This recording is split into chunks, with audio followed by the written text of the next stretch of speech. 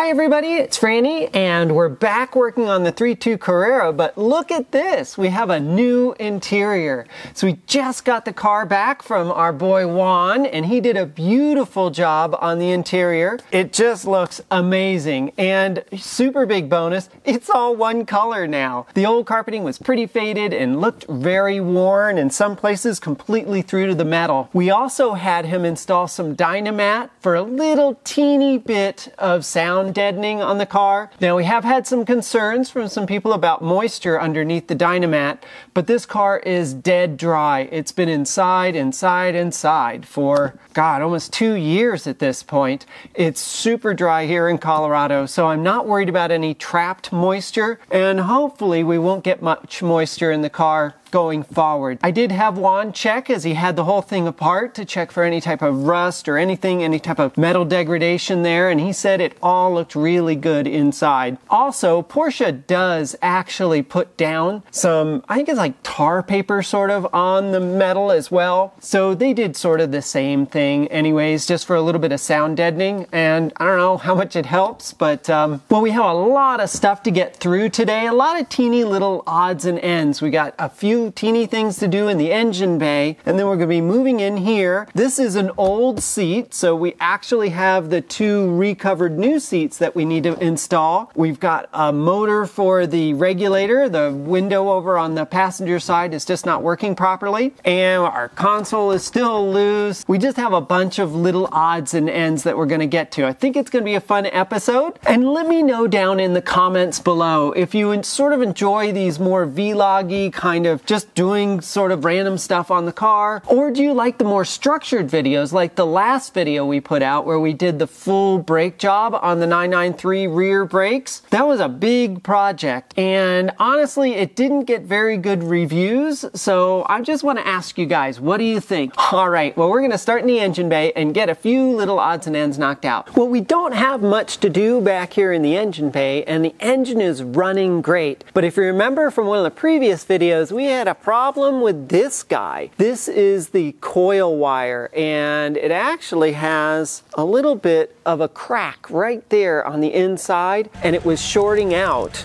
So that's not good. So we bought the parts from Autohaus AZ and they were in a sealed package and everything. They just, I don't know, just not so great. They sent us a whole new set, a brand new set to go ahead and install. Now, since the right are fine and I'm not worried about them and I've double checked them and they're all good, I'm just going to be installing the left side, which includes the coil wire. And this is the actual coil wire here and it's captured in this block. So I don't want to pop this all open and just replace the the coil wire. I think I'm just going to go ahead and replace the entire harness. Shouldn't take too long, should be pretty quick. And I've been trying something kind of new. I picked up some of this 303 aerospace protectant, rubber and plastic protectant. And what I've been doing is hitting all the rubber parts with this stuff before I install them. This, the engine bay gets really warm back here and it's kind of a tough environment. And I'm kind of hoping this will help the parts maybe last a little bit longer. I don't know. But it's a good thing to do while they're out. It's really hard to do when they're all in the car. So let me go ahead and uh, I'm just going to wipe all these guys down and we'll get started installing them. I'm going to start by removing this piece here. It's just, it's kind of sitting right over everywhere we need to be. It'll just be a lot easier with this out of the way.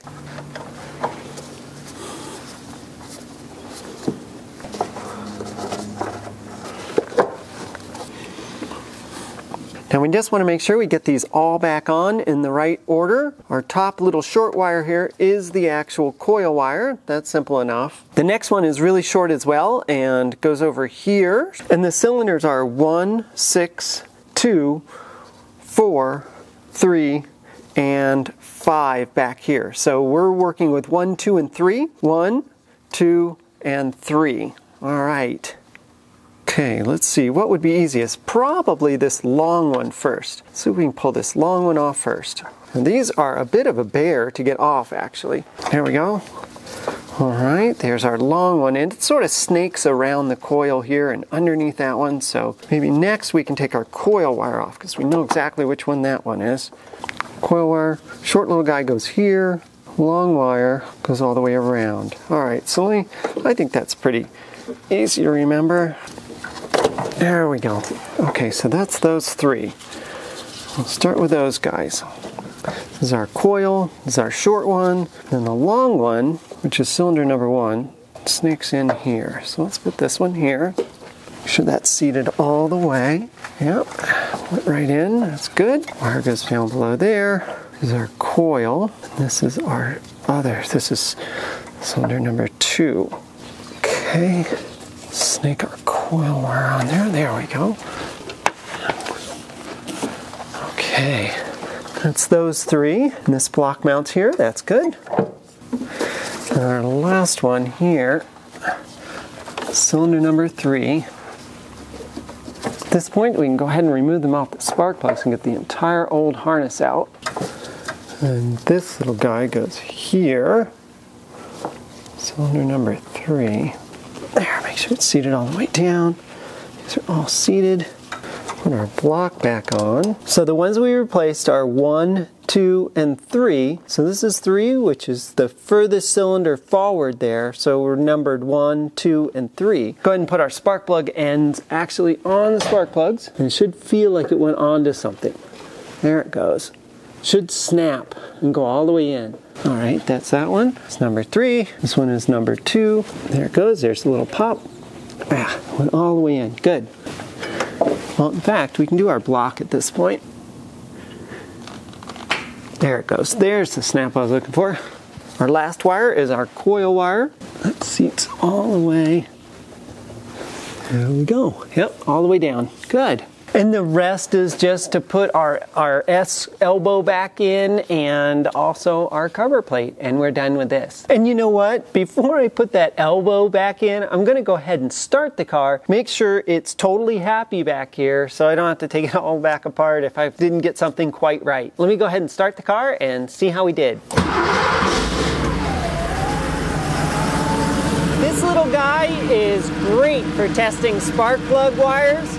It's just an incandescent, has to be an incandescent test lamp. That's all it is. And it's just probe and ground, super simple. So we'll ground this and we'll go run this over all of our spark plug wires and make sure we don't have any shorts.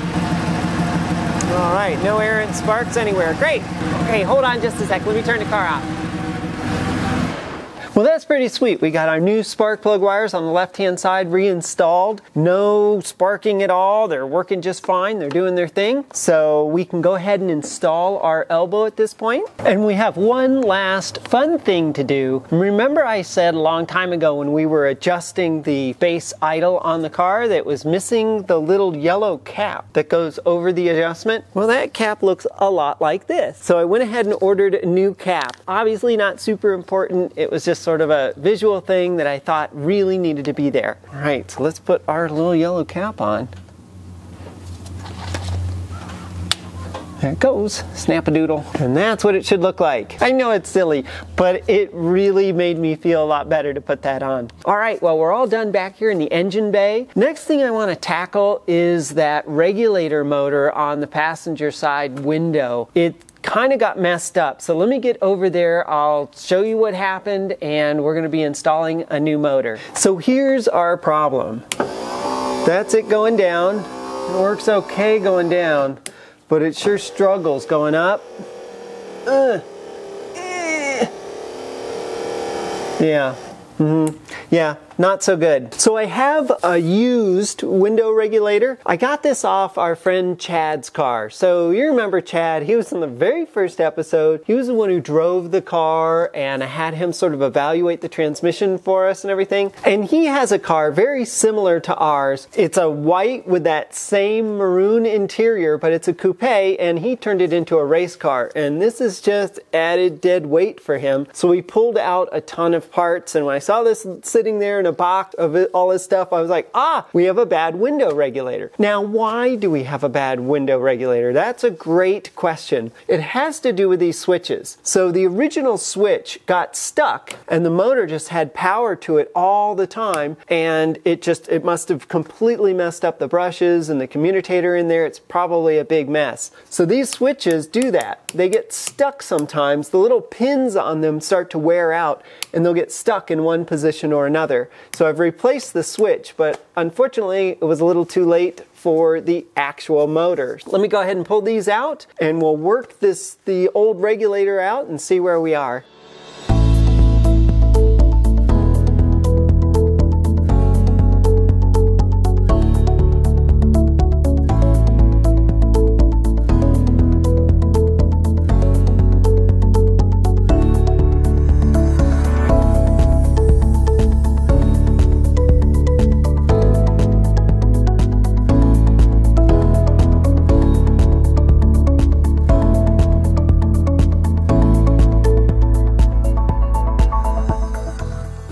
Success, we got our motor out. Now this is pretty different than the other one, huh? So this is the one that I got off of Chad's car and this is ours. And hmm, a little bit different. The whole top of it's different. Maybe it's a cabriolet thing. I don't know. But any rate, all I really need is this bit here, the motor. So I think if I just disconnect it down here, I can probably just swap the motors out, which is really all I need to do. So the motors are actually even a little different size. Check that out. Chad's is actually a little bit longer. Hmm, I might have to actually just scavenge parts from inside the motor if I need new brushes or something. Hmm, I don't know. I'll have to check this out. But you know what? I'm going to move to the workbench and we'll check it out and see what we've got. Let's start by disassembling the motor that came off the car. Now it's sealed on the other side, so there's nothing we can do down here. It does look like all of this just basically slides out of the housing. Oh, looks like the whole thing started sliding out. There it goes.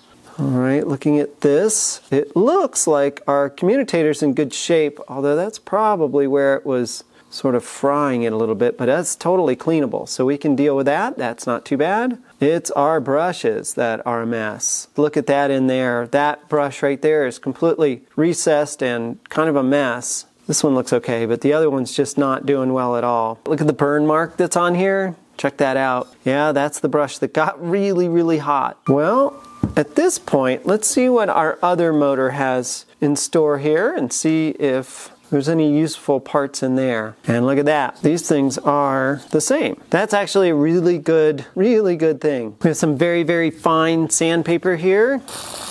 Get this wet. Let's go ahead and clean our commutator. And also one thing I like to do is go through each one of these in between each one of these pads just in case there's something that's fallen in there and it's sort of shorting them out. Okay, that looks pretty good. Well, I think that's it for our commutator. It looks good. And the whole armature looks pretty good there. Bearings look pretty good. We're going to be re-greasing this, of course, when we put it back in. Just want to protect the brushes over the top of this. All right, then when we get to here, our little casing should slide in. We can pull our bag out of the way. And now we need to collapse our brushes. Just using little X-Acto knives here to sort of, there we go, collapse the brushes. Should be able to push this plastic guy down. All right, that looks good. Our brushes are where they need to be. And here we go, pretty simple here. We're just gonna insert this guy back in there. I'm not worried so much about greasing the end of that shaft. As you can see, it just got some grease on it already. Because we have to push through our, our seal anyways. Okay, there we go. Let's run our Torx bits back in.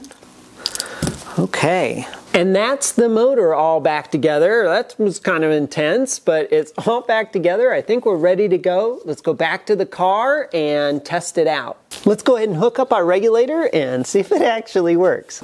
I'm gonna wire here. Here we go, moment of truth.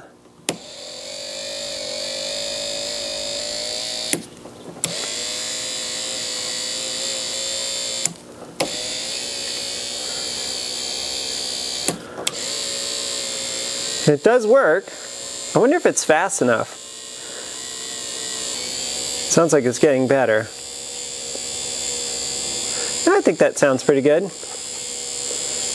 All right. Well, I think it's going to be fine. It might be a little slow still. I'm not really sure, but I think it's going to work. So let's see. Let me go ahead and reinstall everything and see where we are.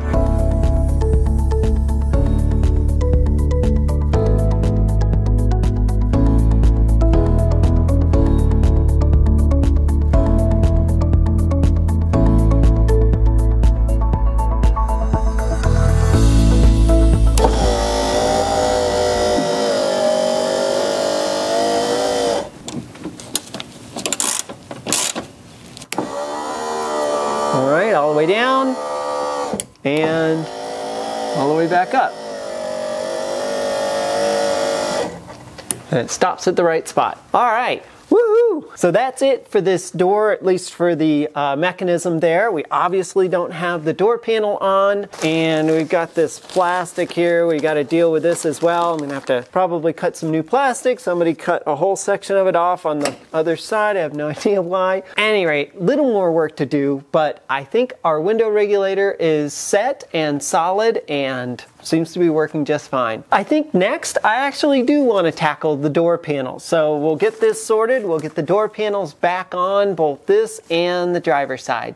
I've got my new plastic piece cut and our first step of course is just going to be attach this guy and then we're going to continue on with the door card. So all right, let's get this plastic up. All I'm doing here is just applying a little bit of 3M Super 77 adhesive with a foam brush. I find it's a lot easier than just spraying it all over the door. That's our glue on. Let's go ahead and attach our plastic. Actually had a bit of a problem on the driver's side with the window switches. I cut them in backwards and lo and behold popped a fuse. So uh, luckily I had taken a bunch of pictures, but I didn't see any pictures actually of the passenger side. So I've got my trusty dusty little camera and I'm gonna take a few more pictures just in case. And you can see some of the water damage on here, huh? That's kind of a bummer. That's why this plastic is so important. And pff, somebody must have taken it off years ago, didn't put it back on, and then some water got in there and it sort of warped this a little bit. It's not too bad. It'll sit flush once it's kind of all mounted. We have three snaps here, one here, one there, and then, eh, one on the bottom down here on the other side. So we can just snap our panel in and start from there. Make sure we hook up our speaker wires as well. There we go, speaker wires attached.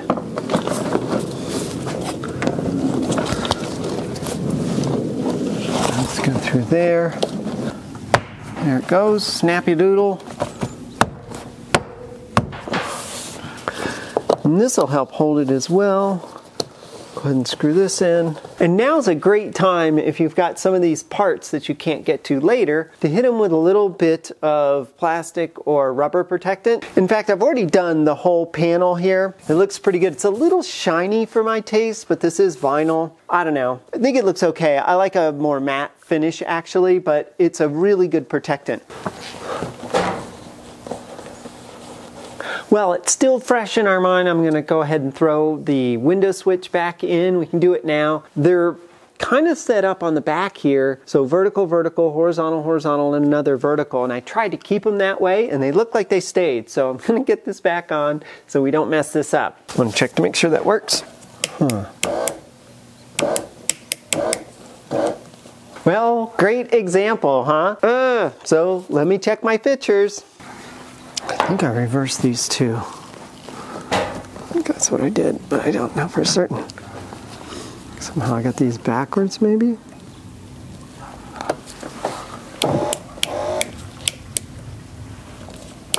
Yep, I did. I got them reversed. Okay, well, I think we're all set. Here we go. Window going up, window going down. All right. So the problem was I had switched the two wires on the bottom. Gotta be careful of that. Holy cow, these things are so hard to get in right. And now it's correct. Everything's cool. I can put the switch back in. There we go. Into place. Woohoo! Next is the actual door handle here. There's two screws at the bottom and two at the top, but these two screws have to go through in here through these holes, but the door handle's kind of in the way, but you can sort of scoot by it, sort of.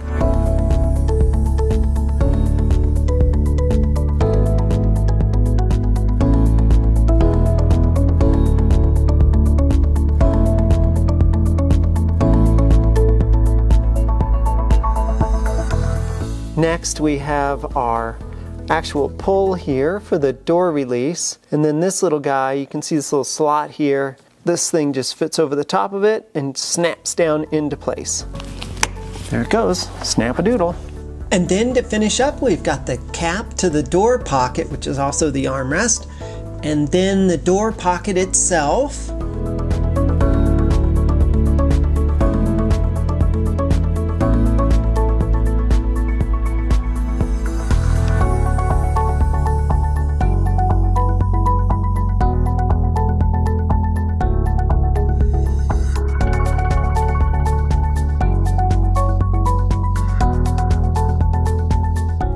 And then finally, the cap that goes on the top of the door.